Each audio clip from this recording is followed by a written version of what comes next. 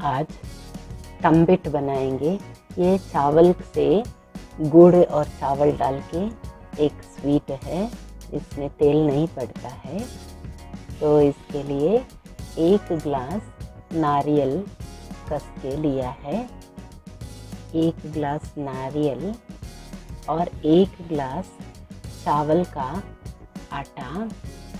देखिए, चावल का आटा, एक ग्लास ये बहुत इजी है बनाना, कोई भी बना सकता है। मूंगफली को अच्छी तरह से भून के ऐसा दरदरा पीस लिया है। तो आधा ग्लास मूंगफली और क्वार्टर ग्लास बुगरा पाउडर करके लिया है और वन एंड हाफ़ ग्लास डेढ़ ग्लास गुड़ लिया है। गुड़ को पानी डाल के पिघला लेंगे। देखिए अभी एक कढ़ाई में नारियल डाल रही हूँ। पिघलाया हुआ गुड़ इसमें डाल रही हूँ, क्योंकि गुड़ में मट्टी होता है तो इसलिए उसको पिघला के डालेंगे। ये थोड़ा ऐसे ही बॉयल होगा। देखिए, इस लेवल पर जब बॉयल हो जाता है, थोड़ा ये एक पाँच दस मिनट जितना हम पानी डालते हैं उस अनुसार, इस लेवल में पाक देखने की ज़रूरत नहीं है। इस लेवल में अभी चावल का आटा डाल के अच्छी तरह से घुमाएँगे। घुमा के एक दो तीन मिनट के लिए इसको पकाना है। देखिए कितना अच्छा वो मिक्स हो रहा है। अभी इसमें जो बुगरा पाउडर करके रखा था ना क्वार्टर ग्लास वो इसमें डाल रही हूँ। बुगरे का पाउडर इसको भी अच्छी तरह से मिक्स करेंगे। इलायची डाल रही हूँ। तिल, दो टीस्पून तिल।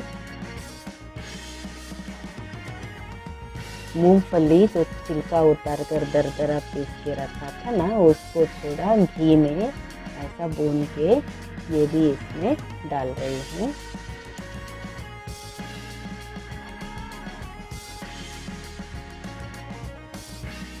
अभी इसको अच्छी तरह से मिक्स कर लेते हैं।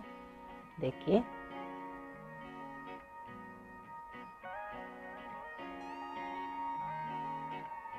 घी भी एक के भी जितना घी पड़ता है, अच्छी तरह से मिक्स कर लेंगे।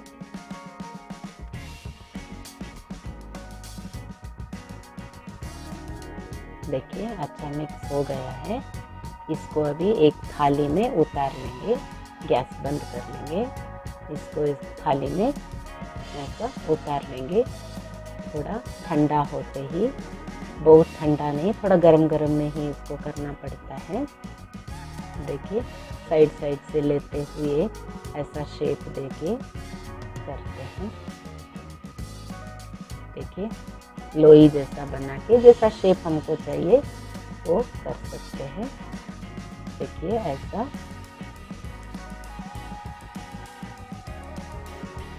ये खाने में बहुत अच्छा लगता है।